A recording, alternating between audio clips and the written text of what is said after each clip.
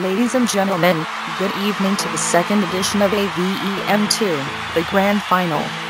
My name is Olivia Fortuna, your host of the evening. Tonight, one of our 10 acts will become our entrant for the 17th North Vision Song Contest in Zurich, Switzerland. By voting, you decide who that will be. Let's start.